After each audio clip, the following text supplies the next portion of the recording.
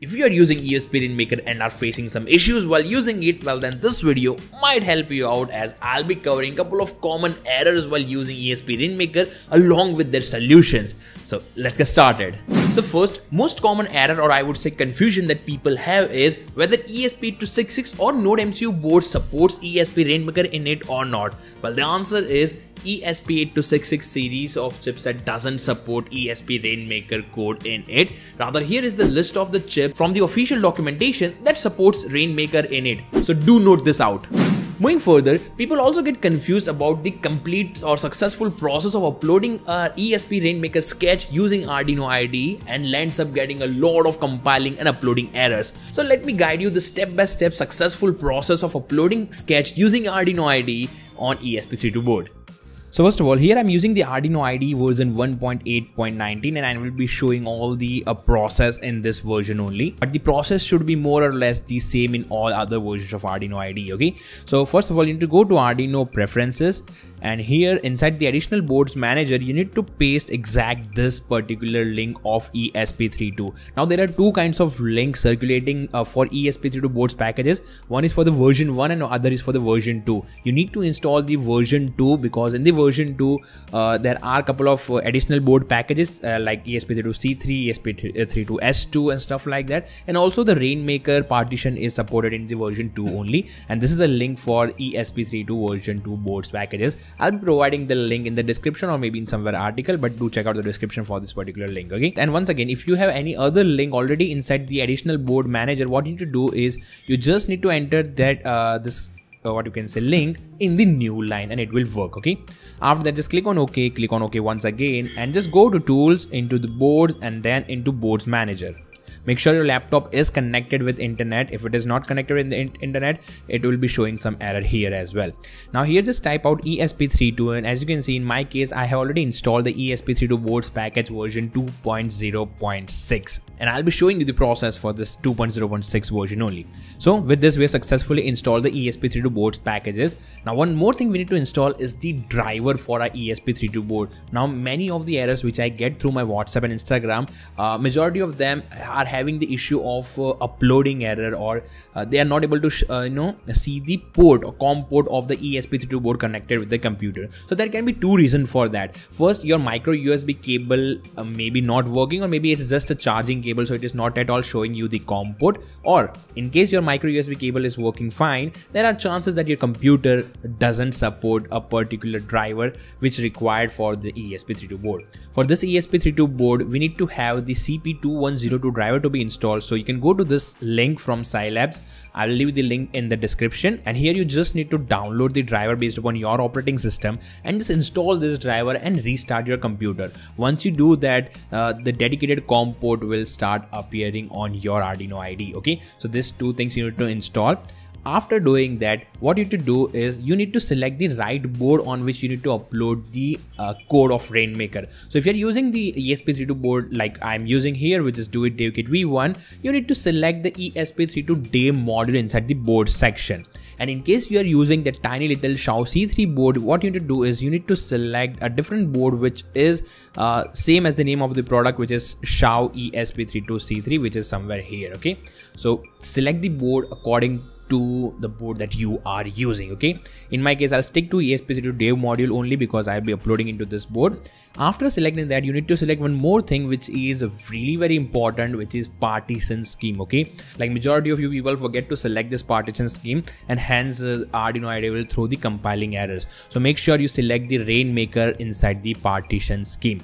This is all about the configurations that you need to do to make that uploading and compiling process error free so now you can upload any of the Rainmaker code inside your board. If you don't have any code, what you can do is you can just try out the example code for Rainmaker, which is here. Okay, so these are the example codes. But what I'll do is I'll try to compile and upload the ESP Rainmaker home automation pro, uh, project code, which I made for our own made home automation project. Okay, so this is the code. Now, uh, one more important thing. So whenever you are using someone else's code, what you need to make sure that uh, you should be having all the external libraries installed on your Arduino IDE otherwise it will also throw the compiling errors. For example in this code I have used the IR remote, DHT, simple timer, ace button these kind of libraries I have used so I need to install all of them in my Arduino IDE in my case i have already installed so now i am good to go to upload this code to my board okay? So again cross checking the right board is selected the partition scheme is selected and the com port is selected. What i can do here is i will straight away hit the upload button. Now after clicking on the upload button there are also chances that the uh, like even if you have done everything okay there are chances that the code won't be uploaded onto your board. It's just because uh, your esp32 board is not inside the boot mode. So what i will suggest is you just need to press and hold the boot button on your esp32 board until and unless the code starts uploading onto the board to make sure that it never throws any uh, uploading error as well. Okay? So the code started uploading. Okay? So i can now release the boot button and it will successfully get uploaded into the esp32 board. So after it gets uploaded now there are a couple of more errors related to you know uh, wi-fi provisioning ble provisioning inside the rainmaker application. So let me take you through those kind of errors and let me show you the solution of that as well. Moving further, after successfully uploading the code, people face the error while connecting their phone to ESP32 board via Bluetooth for Wi-Fi provisioning. Like even after scanning the QR code, the phone doesn't connect with the board via Bluetooth and it shows the error like device not found.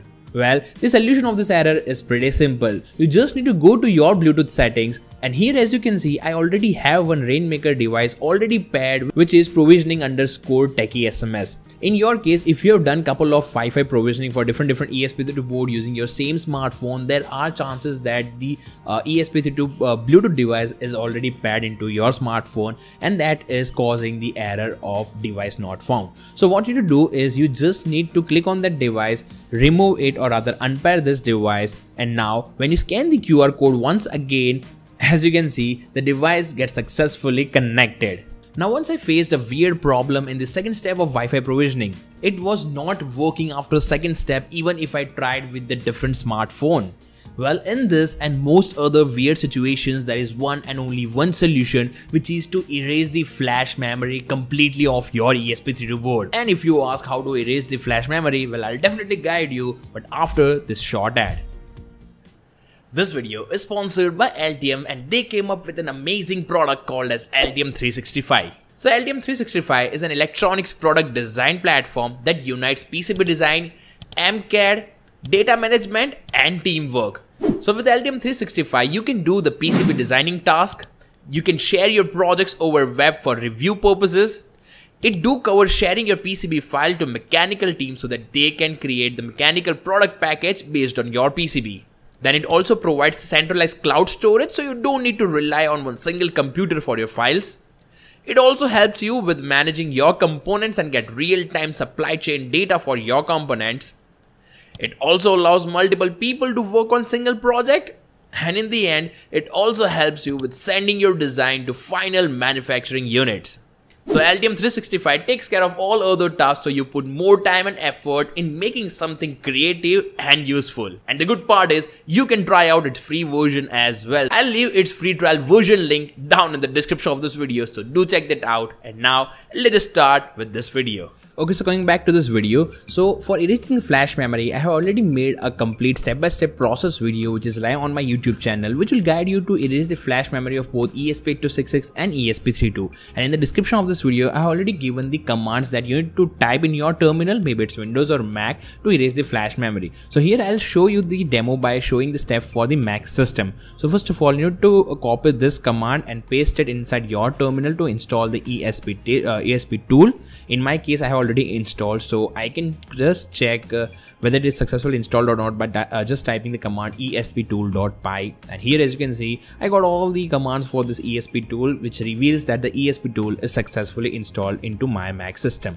Now to erase the flash memory there is one single line of command that you need to type which is provided here. I'll just copy this command and I will paste that here. So in this command we have to provide the chipset in my case it is ESP32 and then you have to provide the port number or the COM port on which the ESP32 board is connected with. So first make sure that the ESP32 board is connected with your uh, computer via micro USB data cable and after that you need to be sure about the COM port and to check cross check the COM port you can open up Arduino and go to tools and here inside the port section you can see the correct COM port of your ESP32 board okay? So you need to type this inside that uh, command. So I'll quickly type that out.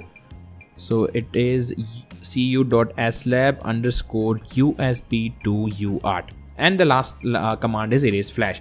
Uh, i will press enter and it will start erasing the flash memory of the esp32 board. And as you can see it got successfully erased as well. So now what i can do is i can re-upload that same esp rainmaker code inside the esp32 board. And now if i scan the qr code using the rainmaker mobile application i won't be getting any error while wi-fi provisioning like giving credentials to this esp32 board Okay, so now let me make you familiar with the newly introduced policy by ESP Rainmaker called as MQTT budget. And as this is newly introduced, many of us are not at all aware about it and it may cause a severe issue in your ESP32 board and it may stop working for any of your Rainmaker project. Well, let me explain what this MQTT budget is. So we all know that ESP Rainmaker is available free of cost to all makers like us. So now any one of us have written a code for constantly sending sending a lot of data to ESP Rainmaker Cloud, which may create some issue in their cloud platform. So what they did is they limit down the amount of data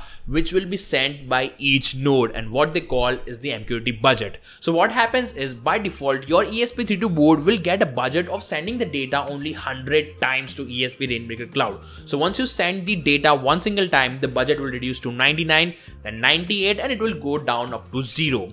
So once you are out of budget, you won't be able to send any data to ESP Rainmaker cloud platform.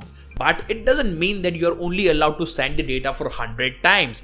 Well let's just take another scenario. So once again you have a budget of sending the data 100 times. And now for the 5 second if you haven't sent any data the budget will increase to 101 and now after other 5 seconds if you still didn't send any data the budget will increase to 102 and it can go up up to 1024 so this is how the MQTT budget will increase and decrease based upon the time interval and based upon the amount of data that you are sending. So now here I'll suggest you to send the data after every 20 to 30 seconds in your ESP Rainmaker cloud platform so that you never go out of budget but still it will depend upon the project and the application. But yeah this was the MQTT budget introduced by ESP Rainmaker.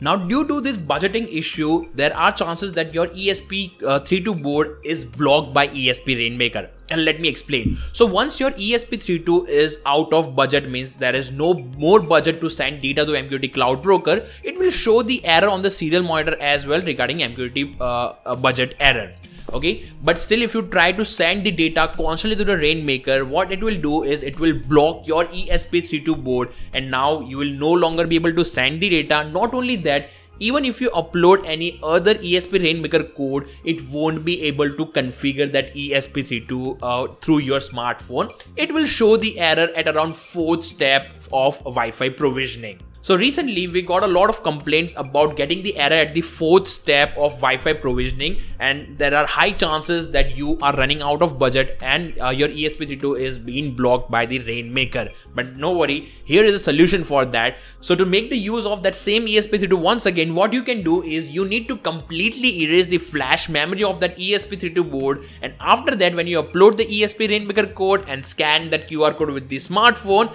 this time it will get successfully uh, configured and you will be able to use that but make sure that you don't run out of budget now. Make sure you you know put proper delay in your code.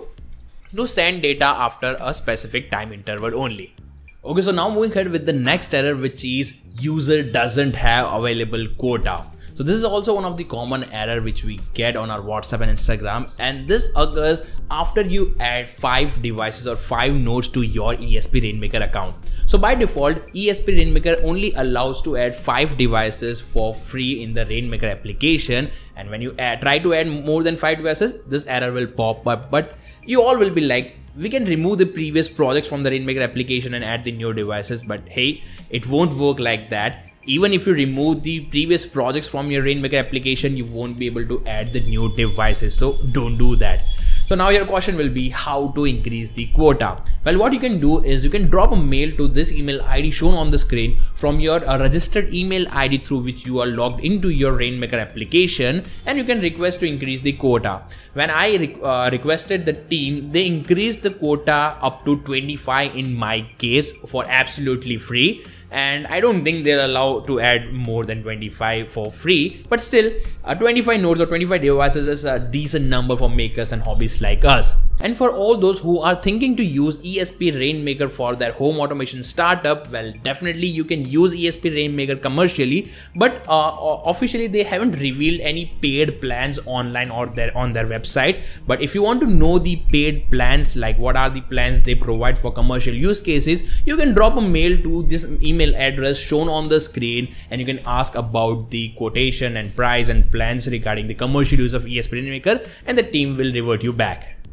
So with this, we come to the end of this video. Do share in the comments about was this video helpful to solve your ESP Rainmaker based errors or not. Do share in the comments. And also, in case after watching this complete video, your ESP Rainmaker error is not getting solved, well, what you can do now is you can go to the official GitHub repository of ESP Rainmaker and you can raise your issue there. So maybe the ESP Rainmaker team or any community member will try to help you out with your error. You can also let me know that error down in the comments of the video. So if that error is in my range or my experience, I'll try to answer that in the comment section itself. And also share this video with your friends and colleagues who you think are working with Rainmaker so that they can save a lot of time while playing with the Rainmaker. Yeah, that being said, I'm just ending this video here and now. Just wait for my next video and explore, learn, share with me, Techie SMS.